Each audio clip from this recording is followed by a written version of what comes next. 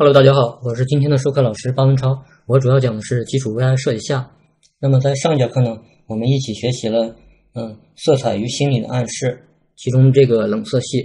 那么这节课呢，我们来学习一下暖色系，看看暖色系究竟包含哪些颜色，它对于我们的一个心理又是怎样的一种影响和暗示。首先呢，我们一起打开 Illustrator 这个软件。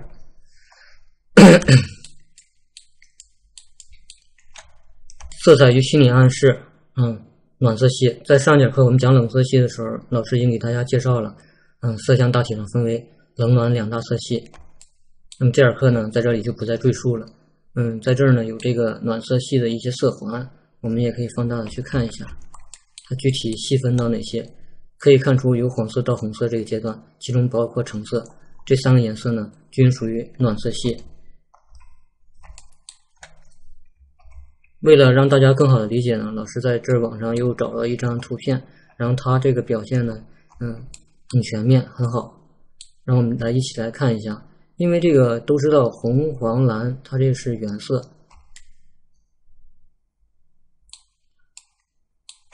三原色在这儿它是三原色，所以它们这两个颜色毋庸置疑，红色和黄色肯定的就是属于这个暖色暖色系。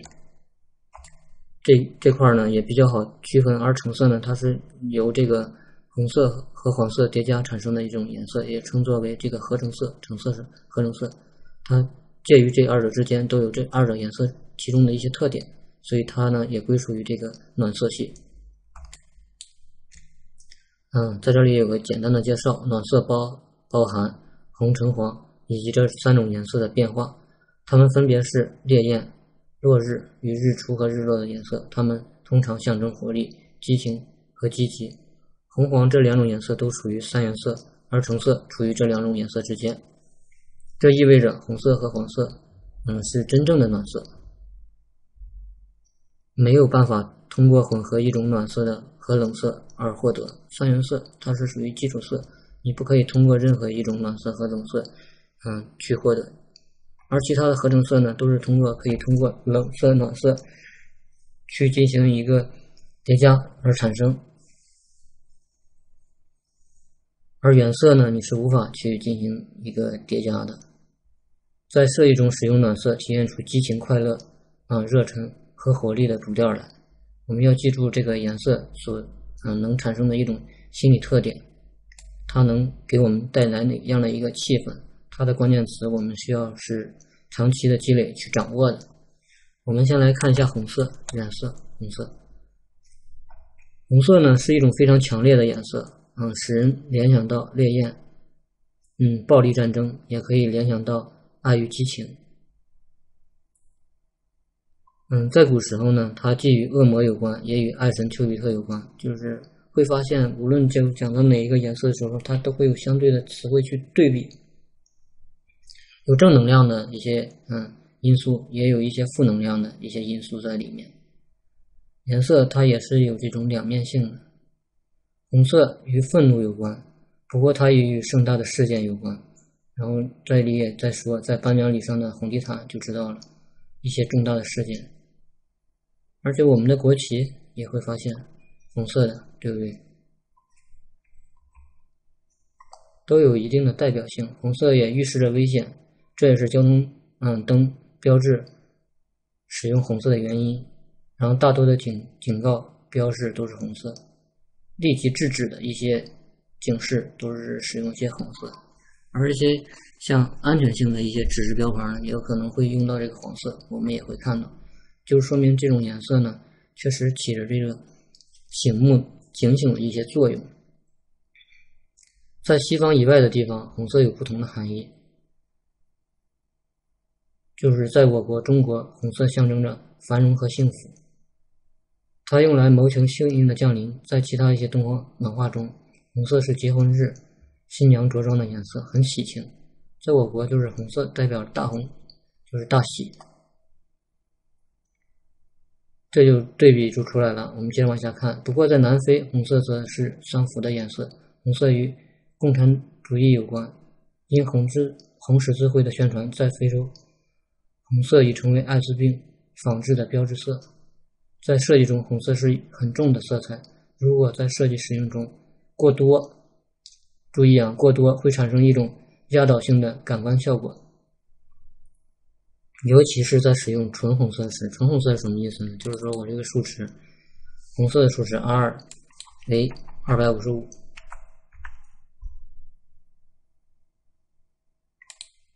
在这儿选一下纯红色。这只是说你在这个绘图，在在做这个平面设计的时候，电脑显示器所呈现的一种颜色，数值二百五十五，纯红，纯色，没有其他其他的这种颜色的组合参与。如果设计师想在设计中添加力量和激情的感觉，红色是一种非常不错的颜色。不过浅红色更能体现活力，而深红色。则更能体现力量和优雅的一面。红色，它所带给我们的一些心理暗示，以及它的一些嗯附特有的一些关键词：激情、力量、优雅。橙色介于这二两种颜色之间的一种合成色。橙色是一种充满生气和活力的颜色。柔和的橙色让人联想到大地及秋色、秋天。我们想象这个橙子。外皮的颜色，以及就是说 高粱成熟的一个颜色，再就是这个柿子，不知道同学们有没有注意，嗯，柿子成熟的时候这这种颜色，因此它与季节的变化，就是说秋天的一个颜色有关。橙色一般用用来表现变化和运动的感觉，因为橙色也与同名的水果有关，让它联想到健康与活力。嗯，UEC，然后以及那个活力橙一些这个饮料上的广告，大多用这个黄色与橙色进行一个嗯结合，也有很多这个跟水果有关的一些颜色会经常用到。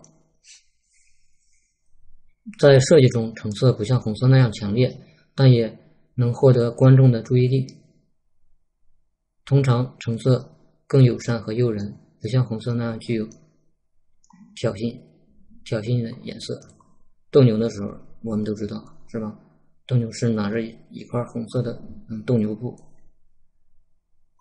对于牛来说，然后可能这个颜色在他眼里格外的这种醒目，具有挑衅，是不是？然后黄色，黄色呢也属于原色，被认为最明亮、最具活力的暖色。注意这两个“最”字。它是最明亮、最具有火火力的一个暖色，它让人联想到快乐和阳光。不过黄色也与嗯欺诈和懦弱有关，同时它带有一些负面的一些嗯色彩和影响。嗯，黄色也与希望有关，在一些国度里，家中有亲人参军打仗的人家会挂黄丝带。黄色也与这个危险有关，不过不像红色那么强烈。嗯，在一些国度，黄色有着完全不同的含义。比如在埃及，黄色是奔丧的颜色；而在日本，嗯，该色代表勇气；在印度，黄色则是商人的颜色。所以有些同学，嗯，有机会出国，然后我们也可以，嗯，留意一下这些颜色，分别在哪个国家代表不同的一个含义。在设计中，鲜黄色可以增加、添加欢乐和愉快的感觉。柔和的黄色，嗯，通常作为婴儿和小孩的中性色。我们也会注意一些这个，嗯，婴儿用品。然后我记忆最深的就是，嗯，孩子的一些洗护的用品，沐浴露，然后，嗯，这种 PP 霜啊之类的一些东西，他们的包装外盒上通常都是这种淡淡的鹅黄色，不知道同学们有没有注意啊？淡黄色。嗯，相对于鲜黄色而言，是一种更内敛的快乐感受。深黄色和金黄色呢，嗯，很有古韵。当需要营造一种永恒的感觉时，则使用这种颜色。嗯，讲到这儿呢，就是暖色的这种三个色呢，就讲完了。然后在这儿呢，为了让同学们更充分的理解，嗯，这个颜色，将来我们也会做这个。你红色呢，都属于一个色相，但是深红、浅红不同呢，我们或者说你这个橙色。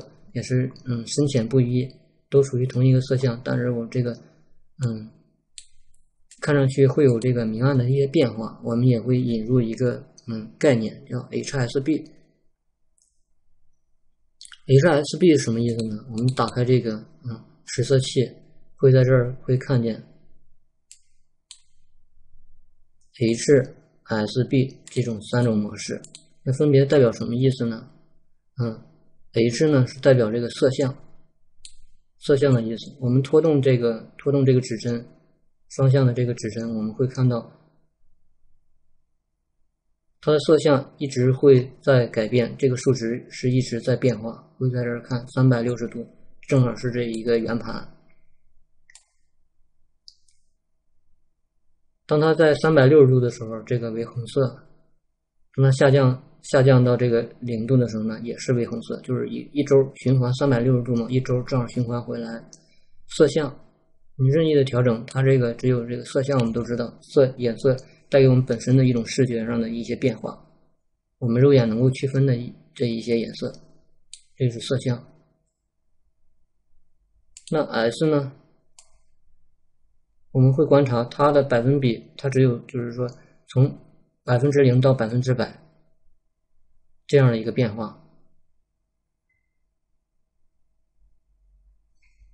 它代表的是一个，它代表的是纯度。我们会发现，因为我刚才选的是红色，它在发现红色在慢慢的变浅，也可以也可以理解为它的一个纯度，它在降低。那么 B 呢，就是它的一个明度。这也是我们在第三节课讲的色彩三大基本要素。在这里呢，通过它的变化呢，嗯，老师希望同学们对它这三个概念，嗯，印象更能加深，也有变有有，嗯，能更好的一个区区别和区分。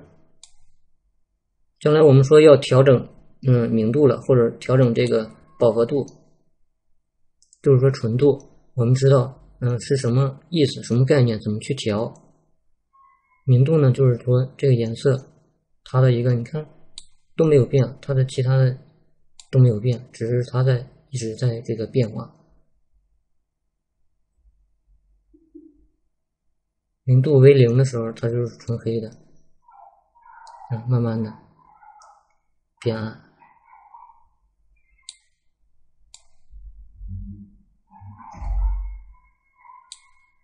绿色也是一样的。这样是引入这么一个 HSB 的一个嗯变化，然后最后呢，我们来看一下，嗯，这个是老师在这个网页上截的一张图，嗯，来这个充分的说明一下这个颜色对于我们心里的一些暗示。像淘宝网，它就用了这个橙色，嗯，橙色通常代表的一些含义比较有活力，然后看上去嗯很踏实，充满活力。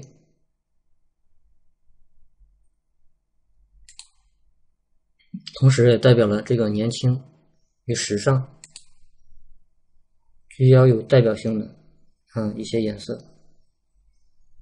那么蓝色呢是属于这个冷色，我们都知道上课之前也学了人人网和这个携程，那么它具有这种稳重、踏实的这种特点，可能也是它设计这个嗯底色的一个原因，把它放在这个底色的一个原因。